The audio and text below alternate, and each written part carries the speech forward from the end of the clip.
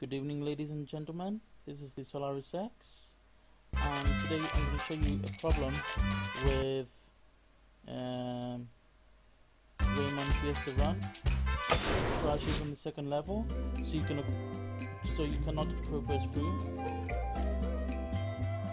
So if you click here try this level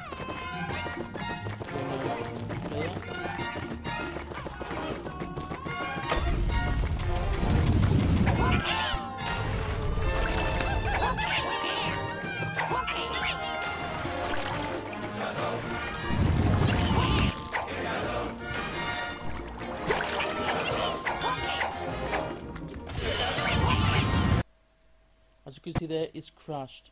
So please the developers fix this problem because people are paying money and it, it keeps crashing on them. Can you please do a fix on this game? Thank you